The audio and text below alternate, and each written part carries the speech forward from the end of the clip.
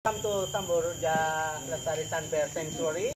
And then we have a large area for Sunbear Sanctuary. We have 58 hectare in here, and we have many enclosure in here.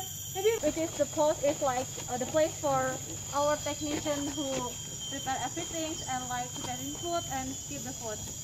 And then we have a large area in here. We have a 16 a big enclosure and many part of our enclosure we have a enclosure for training, like training uh, electric fans.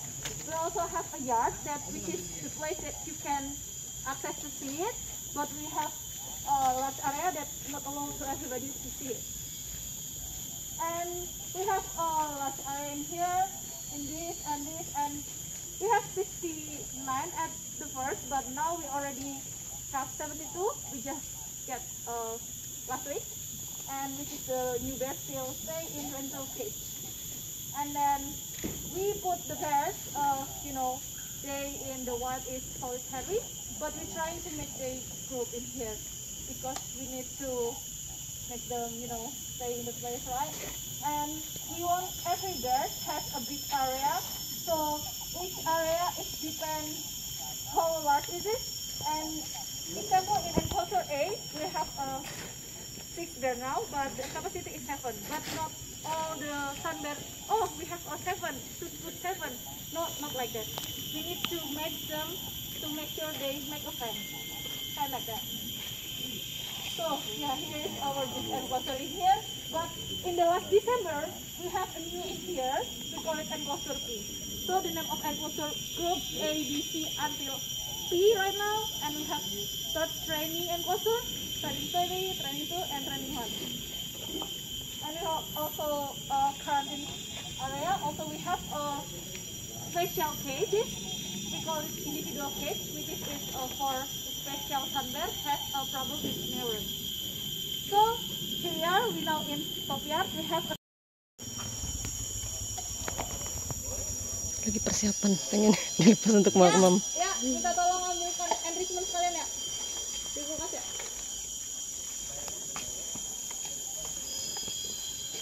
oh dikasih ini. Kasih makan dulu ntar dikeluarin iya. Iya. Jadi biar dia bau-baunya itu dia ini ya. ya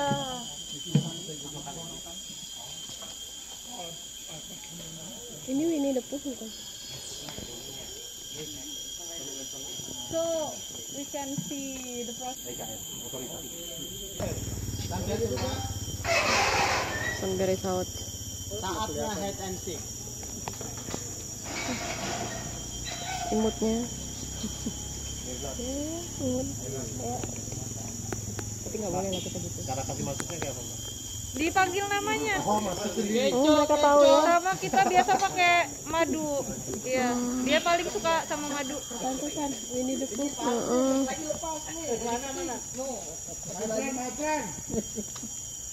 Keco, mau keco. Cari yang noleh bang, panggil dulu baru sampai yang noleh itu dia.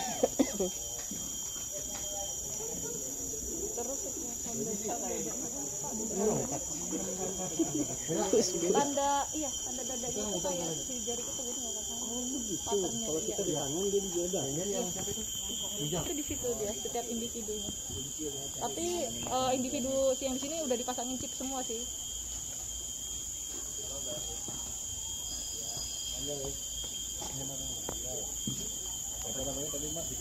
Lady, Dawai, sama Chris. ayo main Yang lady yang mana?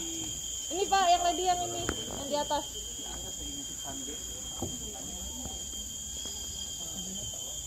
Yang sama drum ada apa? Chris, Chris. Itu yang lagi jalan-jalan Dawai. Kayaknya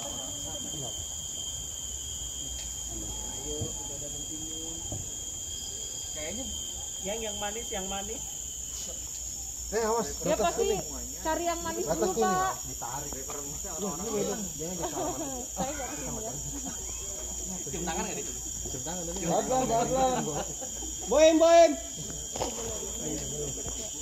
Kalau terlalu itu nanti Dia kabur dia. ya kadang kalau terlalu crowded orang gitu dia juga lebih per, bila- biar ada makanan di sini dia akan lari ke sana. Iya.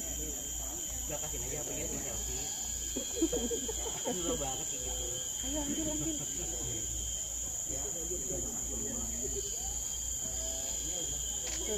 Hai, awas di sini. Nice. Iya, kan nama lainnya honey bear. Dia pintar banget manjat sawah. Lihat ke sini. Iya. Dia kalau di alam makannya termite, apa rayap, semut, cacing tanah juga makan. Itu kalau lihat di pojok itu bekas galian mereka. Pak. Jadi tiap hari itu kita ngecek enclosurnya nutupin galiannya biar dia nggak kabur. Meskipun kayak pondasinya ini udah dalam, tapi kan tetap aja kita harus Iya. jagain gitu. Hmm. Sekali. Kita dapatkan itu. Pris, ayo Pris.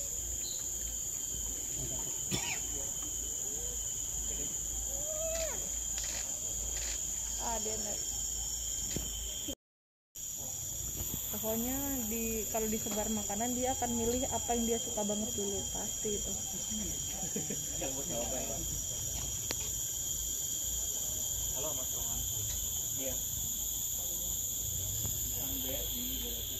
Itu kalau yang itu